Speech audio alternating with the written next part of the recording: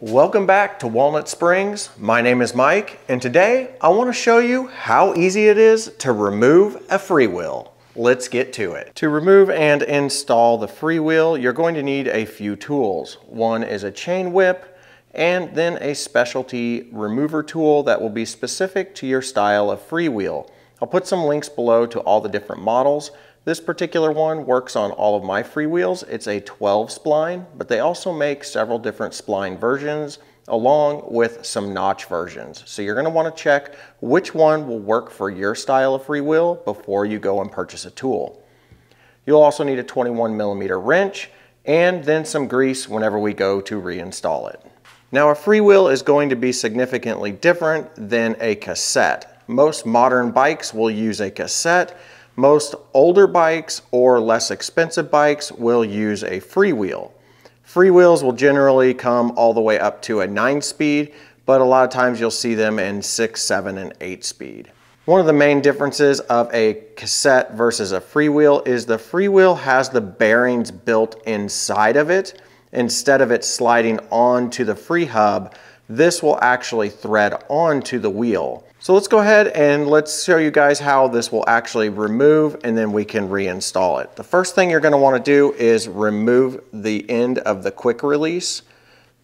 Now once you've got that off of there, you may keep the end of the quick release handy where you can get to it. Then you're gonna take your freewheel tool and you can slide it on there.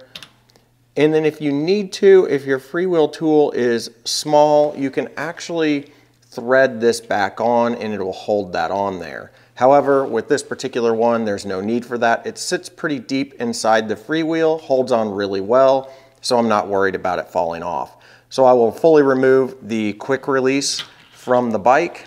The next thing we're gonna get is our wrench, and then we're going to try to remove it. Now, sometimes these can be very, very tricky to remove, especially on older bikes, and you may need to get some sort of like cheater bar or some sort of extra long wrench to be able to break this free.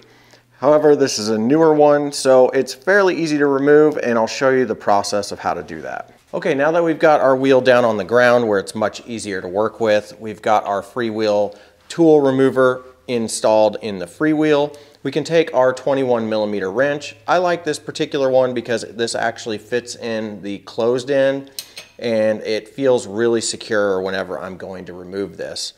Now just remember whenever you go to remove this that it is a counterclockwise removal. So you're just going to brace the wheel and then give it a good push. It can be on there pretty tight. Even though this one was new, it is still on there really tight. Most of them that are older, I do have to get a breaker bar to be able to pull them off. If they are really seized on there, sometimes it can fully damage the wheel and there's no saving it. And there we go, it is fully removed and you can see that this is one of the big things with a freewheel is that the bearings are inside of here and this is threaded so it threads onto your wheel as opposed to sitting on a free hub like a cassette would do.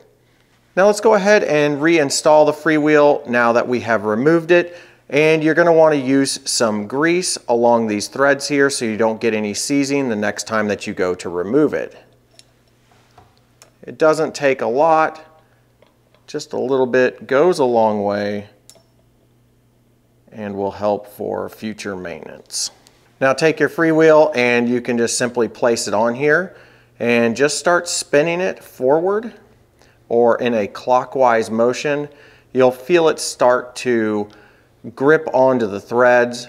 Just make sure that you don't cross thread it. Make sure it's going on nice and smoothly.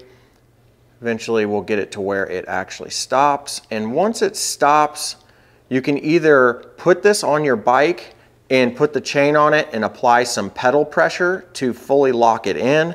Or if you have a chain whip, you can just simply take the chain whip, wrap it on one of the gears, and crank it forward. And that is it. It's ready to go back on the bike and out for a ride.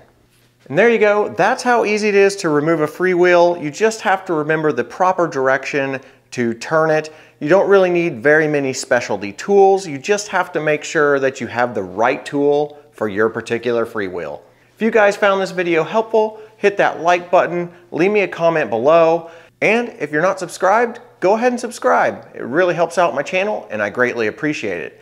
And also, if you saw some tools in here that you don't have but you know you're going to need for this type of work, I'll put some links down in the description below. If you click on those and purchase from those links, it does come back and help this channel a little bit at no extra cost to you.